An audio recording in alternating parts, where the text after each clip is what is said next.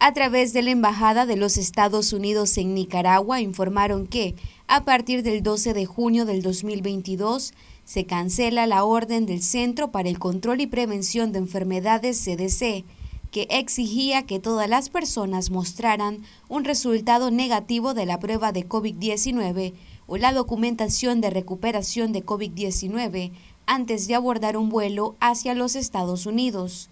Esta revocación se hizo efectiva a partir de las 12 y 1 de la mañana del 12 de junio del año en curso. Lo que sí continúa vigente es la orden que requiere la prueba de vacunación para los no inmigrantes que no son ciudadanos estadounidenses para viajar a los Estados Unidos, ya que todavía está vigente. La CDC considera completamente vacunadas a las personas con dos semanas es decir, 14 días después de su dosis de vacuna de dosis única aceptada por los Estados Unidos. También a las personas con dos semanas, es decir, 14 días después de su segunda dosis de una serie de dos dosis aceptada.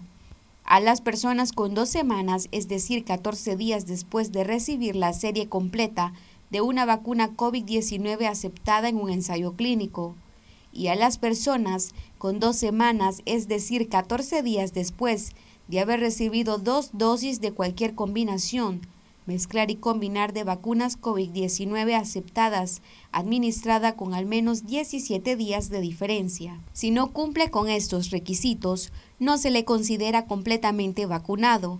Además, informaron que no se necesita una dosis de refuerzo para cumplir con este requisito. Una persona que recibió solo una dosis de una serie aceptada de dos dosis y que se recuperó del COVID-19 no cumple con esta definición.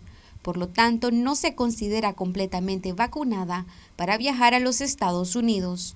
Las vacunas para viajar a los Estados Unidos son Janssen o Johnson Johnson, Pfizer, Moderna, AstraZeneca, Covaxin, Covishield, Sinopharm, Sinovac, Novavac y Covavax. Para Noticias 12, Gabriela Solórzano.